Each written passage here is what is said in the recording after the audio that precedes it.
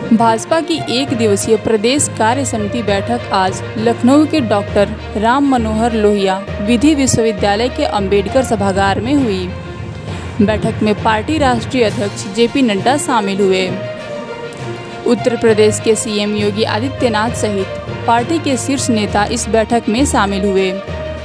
इस दौरान सीएम योगी ने कहा कि हमने जाति और मज़हब के नाम पर किसी के साथ भेदभाव नहीं किया। विकास के कार्यों में भेदभाव नहीं किया। आज 80 करोड़ लोगों को बिना किसी भेदभाव के फ्री में राशन मिल रहा है।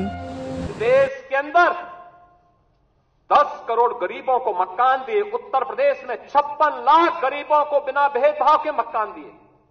हमने जो नारा दिया, मोदी जी ने जो नारा दिया कि सबका साथ और सबका विकास हमने जाति, मत और मज़हब के आधार पर भेदभाव किसी के साथ नहीं किया। हम आज भी कह सकते हैं, हमने किसी के साथ भेदभाव नहीं किया। कोई भेदभाव किसी के साथ नहीं किया। विकास के कार्यों के लिए भेदभाव नहीं किया। ये 80 करोड़ लोगों को फ्री में राशन आज भी मिल रहा है। क्या किसी जाति को मिल रहा है? किसी मत विशेष या किसी धर्म विशेष को मिल रहा है? भारतवासी है, उसको राशन मिल रहा है। भारत पहला देश जिसने भूख से मौतें नहीं होने दी, बदहाली नहीं होने दी, आत्महत्या नहीं होने दी किसी गरीब को सड़क पर भूखों से मरने के लिए मजबूर नहीं होने दिया।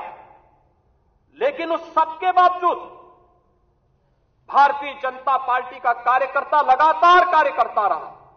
विपरीत परिस्थितियों में अपनी जान की प्रवाह किए बगैर लगातार कोरोना जैसी महामारी से जूझता रहा और सेवा को ही संगठन मान करके कार्य करने का परिणाम रहा। कि जिस महामारी के सामने दुनिया की बड़ी बड़ी ताकतें नतमस्तक हो गई, उसी कोरोना को कहाँ समाप्त कर दिया मोदी जी के नेतृत्व में? भारत ने सबसे अच्छा परिणाम देकर के दुनिया के सामने कोविड प्रबंधन की एक नई अनूठी छाप छोड़ी।